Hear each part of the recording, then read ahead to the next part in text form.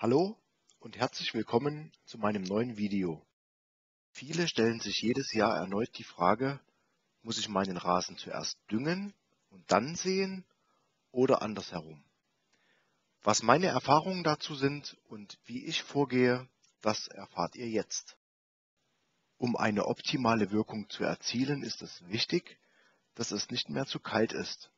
Die Temperaturen sollten im Durchschnitt zwischen 8 und 10 Grad betragen, da sonst der Rasen die Nährstoffe nicht aufnehmen kann. Beim Dünger solltet ihr darauf achten, welchen ihr verwendet. Benutzt ihr organischen Dünger, dann könnt ihr den Dünger und den Rasensamen auch gleichzeitig verteilen. Hintergrund dazu ist folgender. Organischer Dünger zersetzt sich langsam und dadurch gelangen die Nährstoffe nicht sofort in den Rasen. Bei mineralischem Dünger ist das etwas anders.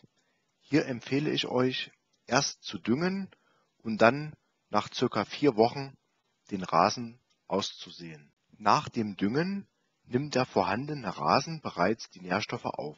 Würdet ihr den Rasen mit mineralischem Dünger behandeln und gleichzeitig säen, dann besteht die Gefahr der Überdüngung oder euer Rasen kann auch verbrennen.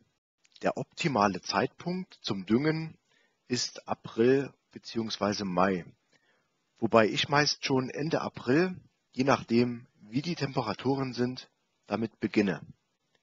Meist gibt es dann auch noch den ein oder anderen Regenschauer, so dass man sich das Wässern im Anschluss sparen kann.